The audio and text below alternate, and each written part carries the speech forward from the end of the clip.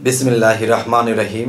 হে সমস্ত জগতবাসী আজ আমি স্বামী আলী চিস্তি আপনাদের সামনে যে আলোচনাটি নিয়ে হাজির হলাম, সে আলোচনাটি হলো যে এই পৃথিবীতে অনেক মানুষ, দেখা গেছে আল্লাহর কাজ করে আল্লাহ সাধনা করে, আমল করে, অনেক কর্ম করে।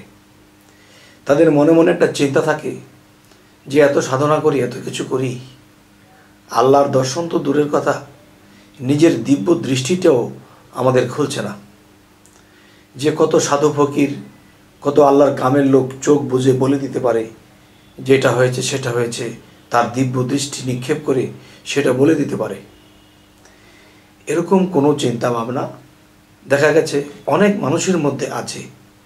মনে হয় আমাদের ইবাদত হয় না, আমাদের সাধনা হয় না, আমাদের আমল কর্ম হয় না। এমন কিছু ভাব তাদের ভিতরে কাজ করে আর একটু যন্ত্রণা বোধ করে যে কবে আমাদের দিব্য দৃষ্টি খুলবে, কবে আমাদের আল্লাহর সান্নিধ্য লাভ হবে। আচ্ছা তো আমি যে কথাটি বলব, যদি কেউ এইভাবে যেতে পারেন, তাহলে তার দিব্য দৃষ্টি কেন? তার আল্লাহর দর্শন মিলবে, তার আল্লাহর সাক্ষাৎও পাবে। আবার আল্লাহ যদি চায়, তাহলে খুব তাড়াতাড়ি তার দিব্য দৃষ্টি খুলে যাবে। আচ্ছা দিব্য দৃষ্টি কিন্তু এটা আল্লাহর একটা দৃষ্টি। আর আল্লাহর সেই দৃষ্টিটা কোনো মানুষকে কিঞ্চিত দান করে। কিঞ্চিত দান করলে তখন সে কিছু গায়েবের খবর পায়, গায়েবের জিনিস দেখতে পায়। যেমন একটা জিনিস, মানুষ যখন মারা যায়, তখন কিন্তু দেখলাম যে মানুষটা আস্তে করে কাত হয়ে গেল। কিন্তু যে কাত হয়ে গেল, এতটুকুই দেখেছি। চর্ম চোখে আমি সেই চর্ম মানুষের রক্ত মাংস মানুষটাই দেখিয়েছি যে সে কাত হয়ে গেছে। কিন্তু এখানে কিছু ঘটনা ঘটেছে। ঘটনাটি কি? তার পাশে আজরাইল দাঁড়ানো আছে এবং তার মধ্যে পাঁচটা আত্মা, পাঁচটা রূপে, পাঁচটা কালারে, পাঁচটা বিষয় নিয়ে তারা উপস্থিত থাকে বা জাগ্রত থাকে। কারণ এই মাত্রই তারা বের হয়ে যাবে। আগুন, পানি, বাতাস, মাটি, আলো। পাঁচটা, পাঁচটার সাথে বিলীন হয়ে যাবে। আচ্ছা তো আজকের যে বিষয়টি বলতেছি, যে মানুষটা মারা গেলে তখন দেখা যায় যে সেখান থেকে রুহুটা বের হয়। যার দিব্য দৃষ্টি আছে, সে রুহুটাকে বের হতে দেখে। এই রুহুটা বের হয়ে কোথা থেকে কোথায় যায়, সেটাও সে দেখে। তাহলে দিব্য দৃষ্টিটা খুবই কঠিন বিষয়, এইগুলা কিন্তু সকলের জন্য নয়। দেখেন ফানাফিল্লা ফানাফিল্লার স্তর যদি আমরা যাই ফানাফি শেখ, পীর সরুতে ফানা। ফানাফি মুর্শিদ ফানাফি রাসুল ফানাফি আল্লাহ। এই তিনটা, চারটা স্তর। দেখা যায় যে এই যে ফানাফিল্লা এটারই চারটা স্তর। তো এখন দিব্য দৃষ্টিরও চারটা, পাঁচটা স্তর আছে। এখন দিব্য দৃষ্টি একটা হলো কি, একজন মানুষের দিকে তাকানো হলো এবং দেখা যায় তার ধরন, তার অবস্থান বুঝে তার মনের কথাটা বলে দেওয়া হয়। এটা হলো প্রথম স্তর। আরেকটি হলো, ভক্ত বাড়িতে কি করতেছে? এই মুহূর্তে ভক্ত কি করতেছে? তবে বলতে পারেন, আপনার কি এটা হয়েছে? বাবা, আমি চেষ্টায় আছি। আমি সর্বদিক দিয়ে এখনও সাকসেস হতে পারিনি। তবে কিঞ্চিত যদি তিনি দিয়ে থাকেন, ওটা দিয়ে লাড়াচাড়া করে চলছি। আসলে যতটুকু দরকার, অতটুকু আমি এখনও পাইনি। অতটুকু কর্ম হয়তো করতে পারিনি, কিন্তু আমি পারিনি বলে কি হয়েছে? আপনারা যদি পারেন এই জন্য আপনাদের কাছে আমি এটা বলে দিচ্ছি। আচ্ছা। তো এই দিব্য দৃষ্টির কয়েকটা স্তর আছে। একটা স্তর হলো, কাছে এসেছে, তার মনোবাঞ্ছা কি? সে কিছুটা বলে দিয়েছে, বেশিরভাগ মিলে গিয়েছে।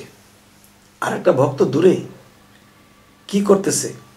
গুরু ভাবনা চিন্তা করলে তার দৃষ্টিতে আফসা আফসা কিছু দেখে বা বুঝতে পারে।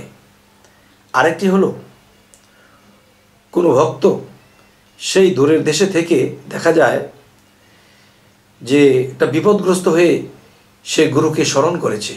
গুরুজিকে যখন স্মরণ করেছে, তখন গুরু মধ্যে একটা ধাক্কা লেগেছে, আমার ভক্তটা না জানি কোন বিপদে আছে। তখন গুরুর গুরুকে স্মরণ করে, গুরুর গুরুকে স্মরণ করে, গুরুর গুরুকে স্মরণ করে। তখন এরকম করতে করতে রাসুল পর্যন্ত খবর হয়ে যায়। রাসুল পর্যন্ত যখন খবর হয়ে যায়, তখন আল্লাহ পর্যন্ত খবর হয়ে যায়।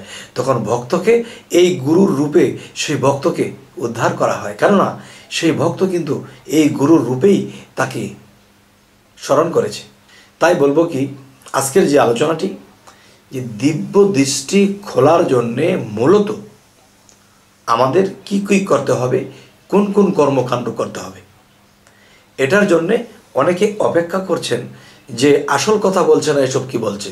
আসল কথা যদি বলতে যাই, তাহলে বুঝবেন, কেউ যদি নিয়ত করে যে আমি সাধন করতেছি, আমি মুক্তি হয়ে যাব পৃথিবীতে আর জন্ম নেব না, তার একশো বার জন্ম নিতে হবে। শত শতবার তার জন্ম নিতে হবে। যদি কেউ বলে, আমি সাধন করতেছি, আমি এই কারণেই সাধন করতেছি যে আমি দিব্য দৃষ্টি পাওয়ার জন্য সে হাজার হাজার বৎসর সে সাধনা করবে, তার দিব্য দৃষ্টি খুলবে না।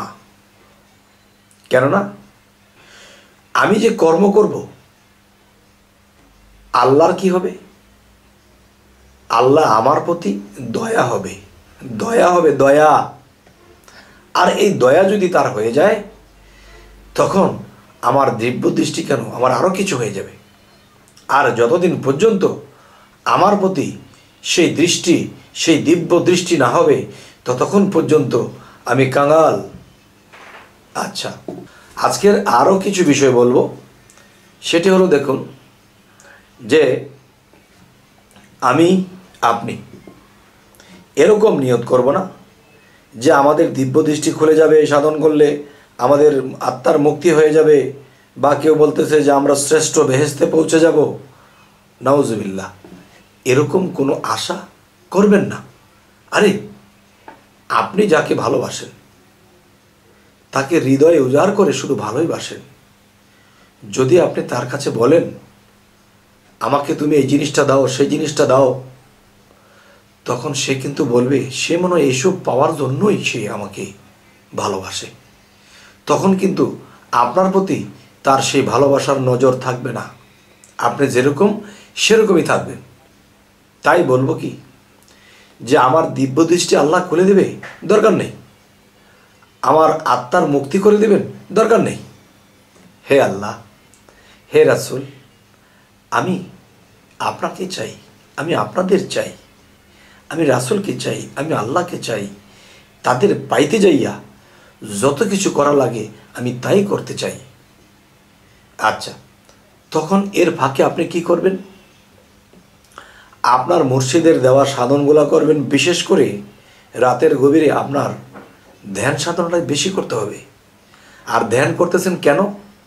কারণ আল্লাহ আমাদের রক্ত মাংসে গড়ার মতো নয়, তিনি গোপনেরও গোপন। সত্তর হাজার পর্দার আড়ালে থাকে। আসলে কি সত্তর হাজার পর্দা? সেটা হলো কি, যে বাতাসের মধ্যে বাতাস, বাতাসের মধ্যে বাতাস, বাতাসের ভিতরে বাতাস। এর মধ্যেই তিনি লুকিয়ে আছে। এর মধ্যে যে সে লুকিয়ে আছে এটাকে সত্তর হাজার পর্দা বলা হয়েছে। এখন আমরা তো বাতাসই দেখি না। তাহলে বাতাসের মধ্যে যে এত স্তর আছে, সেগুলোও দেখি না। তার ভিতরে যে আল্লাহ, সেটা দেখব কি করে? তাহলে যদি মানুষ প্রেমে, ভাবে, থাকে এবং নিরামিষ খাবার খায়, সত্য বলে এবং রাতের গভীরে ধ্যানের দেশে থাকে এবং দমের সাধনা করে। এবং প্রেমে যখন তাকে স্মরণ করবে তখন এই চোখ দিয়ে অধরে পানি ঝরতে থাকবে। এগুলা কেন হচ্ছে? একমাত্র আল্লাহকে ভালোবেসে, রাসুলকে ভালোবেসে।